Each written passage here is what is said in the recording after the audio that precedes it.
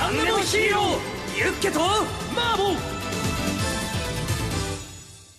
改めまして小林祐介です。古川誠です。では皆さんからいただいたメールご紹介していきます。はいえー、と2通連続で読みます、はい。えーまずピヨコちゃん付け希望の方からいただきました。ピヨコちゃんです、はいえー、ゆっけさんまおぼさんこんばんは。こんばんは。ゆっけさん、えー、5月28日に開催されたパラドックスライブトップショーお疲れ様でした。イエえーテレビの方で見させていただいたのですがそれぞれのチームごとの色が出ていてそこのチームにしかない魅力が溢れていて曲もパフォーマンスもバチバチにかっこいい最高のライブでした、チェックラッチョえーあと衣装も素敵でテンション上がりました。あげあげ MC では自由にはっちゃける豊永さんに保護者のユッケさんが楽しくて好きでした。そんなの本当ね。本当疲れた。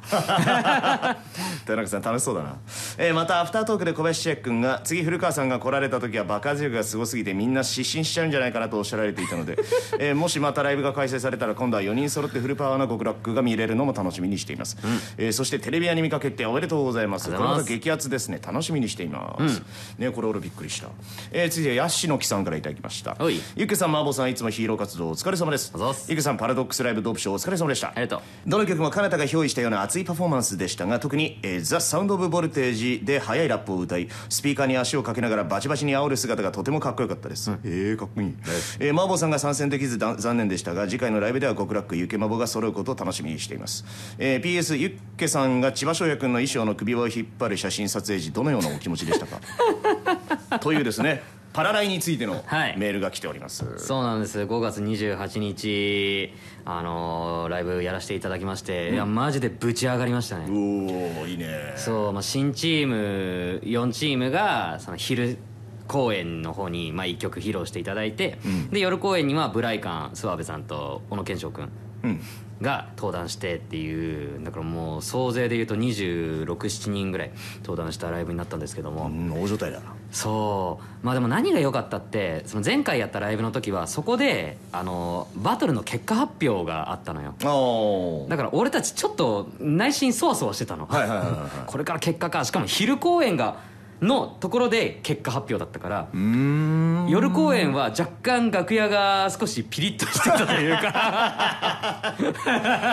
なあそうね。ちょっとねセンシティブになっちゃうよねそれはね。なのもあったけど今回は本当純粋にライブをあの楽しむことができる内容だったから本当に楽しかったし。でまあコズメーズは今までやってなかった新曲だったりも含めて、あとシャッフルユニットでやった曲も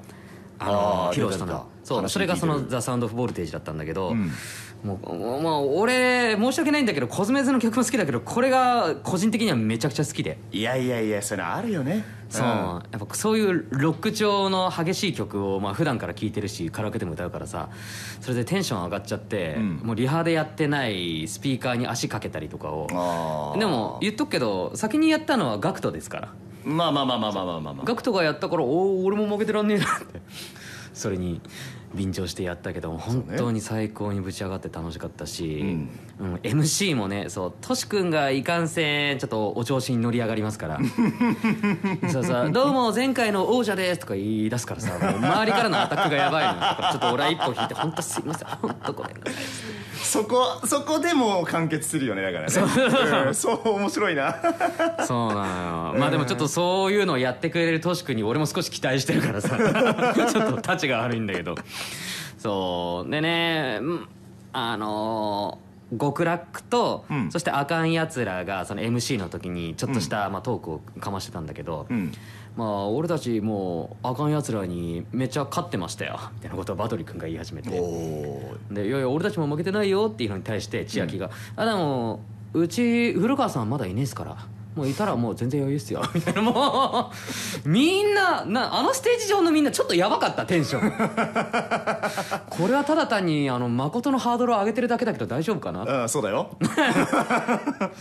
そうっていうぐらいでもやっぱ本当みんなパフォーマンス、まあ、MC も歌も含めてすごく良くて、うん。もうこれは早くも次のライブが楽しみだしその夜公演のもう全員が「ありがとうございました」ってはけた後にアニメ化発表がスクリーンであったのよ、あ だから俺たちも本当はなんかいろいろ言いたいんだけど、ん。何も言えず。あそうもう SNS で言うしかなかったんだけどそうなんです。アニメ化決定いたしました。そうなんだよね。そ俺もびっくらこいたもん。うん。うん。俺らも結構直前に発表しますって聞いたから、そうだよね。俺はあの流れてきたやつを見たみんな頑張ってんだなと思っああ。てパッとアニメ化決定って書いてあってはあ とりあえずリツイートしようと思ってうんリツイートして。そうです、まあ、2023年というところまで発表されてますので、まあ、つったら年内にアフレコは始まるのかな？うー